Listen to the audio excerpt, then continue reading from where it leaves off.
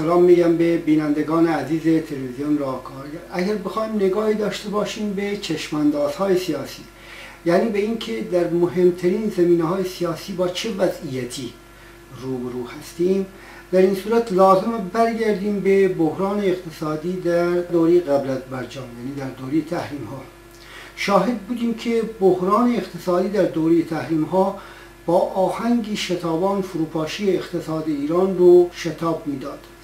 هزینه ها تحمل پذیر نبود. کشور به لبه پرتگاه کشیده شده بود. بنابراین خامنه‌ای مجبور به نوشیدن جام زهر شد و برجام رو پذیرفت. ولی پذیرش برجام هم عوارض و پیامدهایی داشت و داره که خامنه ای نمی‌تونه راحت باش کنار بیاد. این عوارض و پیامدها رو میشه حداقل در دو زمینه مطرح کرد. اولین مسئله کنار گذاشتن حالت تنش و خصومت و جایگزین شدن گفتگو و مذاکره با آمریکا برای حل مسائل منطقی و روابط دو طرف هست دومیش در واقع دومین معناش وارد شدن در مبادلات اقتصادی و تجاری گسترده سهم دادن به سرمایه بینالمللی در بازار داخلی ایران پذیرش محدودیت هایی در چارچوب قانون برای حرکت سرمایه ها به طور کلی و پذیرش الزامات حضور سرمایه خارجی هم در حوزه اقتصادی و هم در حوزه فرهنگی هست. حالا در مورد محور اول یعنی کنار گذاشتن تنش ها خامنه‌ای دچار تناقضه و سیاست متناقضی را هم پیش برده. از یه طرف در زمینه هایی با آمریکا مذاکره و حتی همکاری کرده. مثلا در مورد عراق شاهد همسویی هایی بین سیاست جمهوری اسلامی و دولت آمریکا هستیم. و از طرف دیگه در زمینه هایی مثل تهدید اسرائیل به حمله موشکی یا بحران سوریه با سیاست های آمریکا جمهوری اسلامی خیلی همخوانی نداره. خامنه ای با اصل مذاکره مخالف نیست و بهترین دلیلش هم خود مذاکرات مربوط به توافق هسته‌ای با آمریکاست. ولی نمی‌خواد اصل رو بر مذاکره و تفاهم بذاره. چون در این صورت اولا حربه استکبار ستیزی رو به طور کامل از دست میده و یه پایه سیاست ارباب داخلیش با سوختن این حربه فرو میریزه. نقش نظامیان و امنیتی ها هم کمرنگ میشه و به جای اینکه تهدید به بستن تنگه هرمز کنن یا موشک هوا کنن یا هی نابودی اسرائیل رو مطرح کنن باید حداقل از جلوی صحنه سیاست ایران برن عقب. یه مشکل دیگه هم هست اون هم مدیریت این سیاسته. در کوتاه مدت میشه به نل و به میخ زد ولی در دراز مدت شطور سواری دولا دولا نمیشه. در دوره مذاکرات هستی دیدیم که خامنه خودش از پشت صحنه مذاکره رو هدایت می‌کرد. ولی در جلوی صحنه گاهی انتقاد می‌کرد و فضای حمله به مذاکره کنندگان برای دلواپسان داخلی فراهم می‌کرد. اگر قرار بشه که گفتگو و مذاکره. جایگزین تنش و تخاصم با آمریکا باشه این بازی موش و رو دیگه نمیشه. آقای خامنه ادامه بده. خامنه ای بایستی خودش مستقیما عمل کنه. ولی همونطور که گفتم حضور خامنی در رأس مذاکره با آمریکا و اصل کنار گذاشتن خصومت و تنش در رابطه با آمریکا به عنوان یک اصل در مناسبات دو جانبه تمام بساط استکبار ستیزی اینها رو به هم میریزه و بحران رو در میان طیف نیروهای داخلی شدت میده. در مورد محور دوم گره کردن ها تا الان بیشتر روی این چرخیده که آمریکا عمدن جلوی رفع تحریم رو گرفته و بانک ها میترسن با ایران وارد دادستد بشن. سرصدا می‌کنن که آمریکایی ها به توافقاتشون عمل نکردن به این حرفا. با این حال به محض اینکه وارد نمونه های روابط تجاری و اقتصادی پسابر جام میشیم بلافاصله می‌بینیم که مخالفت ها در جناح رهبر رژیم گسترده است. مثلا در شرایطی که دوری تحریم ها در دوریش تحریم ها شاهد بودیم که بابک زنجانی و رضا زراب ها صحنه شدن و دلالان تحریم ها میلیاردها دلار پول نفت به نام دور زدن تحریم ها وارد کردن. بعد از برجام به نام حمایت از تولید داخلی با تفاهم نامه های دولت روحانی با کشورهای اروپایی مخالفت های وسیع صورت گرفت. البته من اینو بگم که تا جایی که به آماده سازی شرایط از نظر ارزان کردن ارزش نیروی کار مربوطه الان عملا فرش قرمز زیر پای سرمایدان خارجی و داخلی پنج شده. منتها امنیت سرمایه خارجی هنوز حلقه مفقود است. مثلا یکی از الزامات حضور سرمایه خارجی حضور برندهای شناخته شده جهانی در زمینه های مختلف است. از شبکه های زنجیری لباس و پوشاک لوکس تا شبکه های فست فود تا شعبات خصوصی برای مدیریت سرمایه گذاری ها در بورس. ولی پس از برجام شاهد بودیم که تندروهای دستگاه ولایت چطور شاخوشانه کشیدن برای حضور این شبکه ها در بازار ایران و حتی در مواردی کار تهدید به جای رسید که برندها افتتاح نشده اینا رو برداشتن بستن.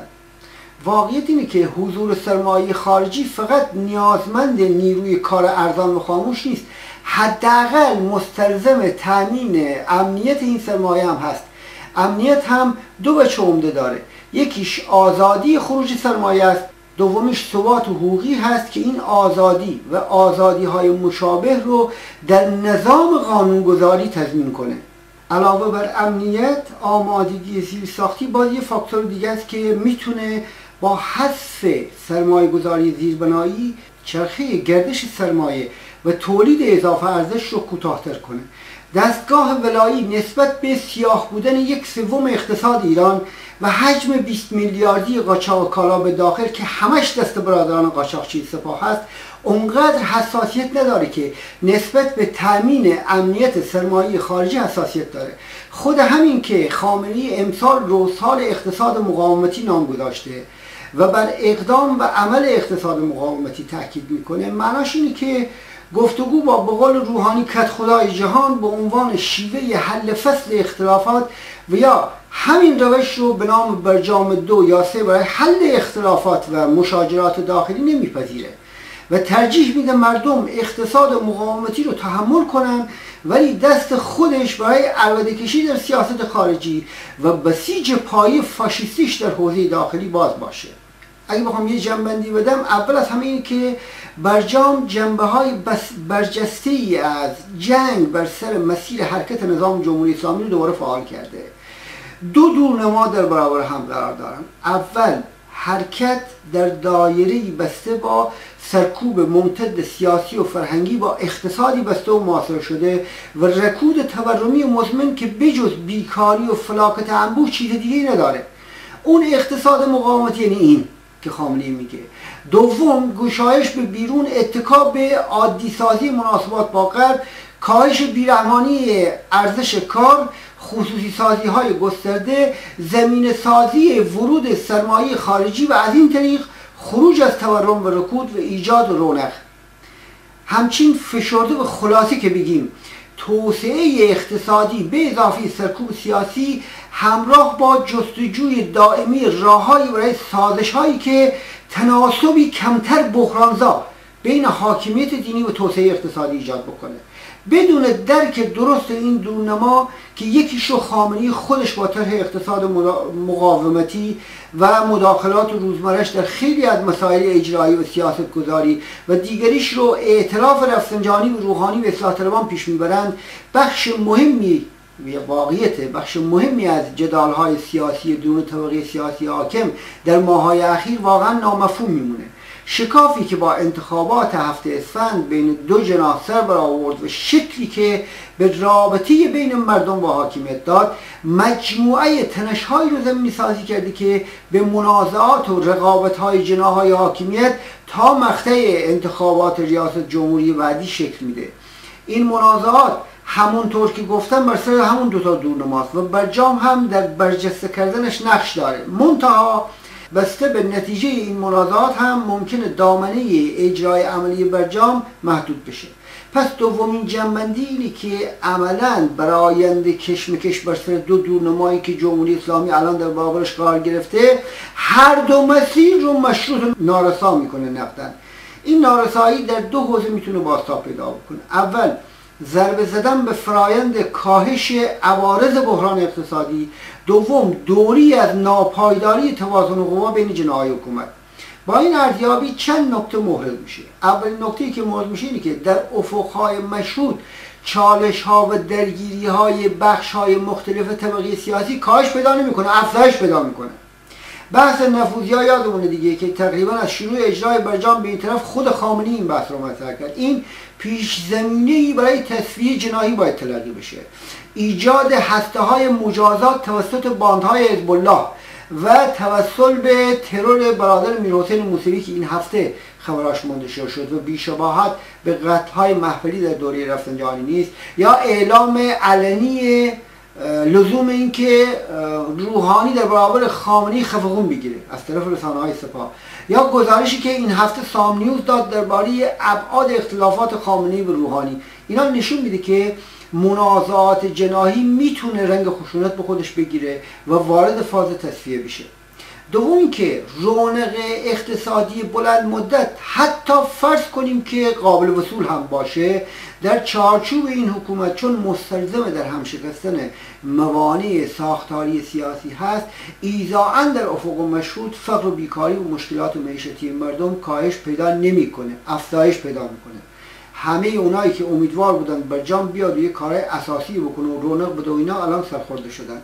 لازم نیست به همه من این موانع من اشاره بکنم. همین نقش برادران قاچاقچی سپاه در قاچاق انبوه از اسکلهای خصوصی یا نقشی که باز همین برنشستگان سفری ولایت در قارتگری های بازار غیر متشکل پولی دارند و کلان نقدین خاران اصلی و عاملان و شکستگی دوازده بانک کشور رو تشکیل میدن کافیه. هر رونقی در اقتصاد مستلزم این هست که از این باندهای قارتگر وابسته به دستگاه ولایت خلیت بشه. و این راهکارهای اقتصادی رو در واقع خلیت به راهکارهای سیاسی مشروط می‌کنه. سوم که با ادامه گسترش شکاف طبقاتی سونامی بیکاری و اخراج های گسترده کارگران فشار معیشتی بر معلمان بازنشستگان و سایر گروه های کم درآمد نارضایتی ها شدت بیشتری پیدا می‌کنه یا منتظر یک چنین باشیم و زمینه برای گسترش بیشتر جنبش مطالباتی فراهم میاد همین هفته اخیر ما تو خبرات داشتیم که حدود هزار نفر فقط در اصفهان از کار بیکار شدن. نکته چهارم اینه که تحت اون مجموعه عواملی که تا اینجا گفتم از نظر طبقاتی شکاف درآمدی میان کارگران و زحمتکشان و بخش های میانی جامعه با آهنگ شتابان رو به میره این وضعیت در صورتی که همراه بشه با تلاش های فشرده برای غلبه بر پارگی های فرهنگی در میان این بخش ها اون وقت پایی مادی همگرایی های مبارزاتی رو تقویت می‌کنه. در آمیخته شدن نافرمانی مدنی شکل های مختلف مبارزی روزمره برای حقوق شهروندی با مبارزه برای دریافت دستمزدهای موفقه داشتن بیمه بیکاری سلامت دسترسی به بهداشت آموزش و مسکن یا خیلی خلاصتر بگم در آمیختن پیکار برای نان و آزادی پیامد این کاهش است.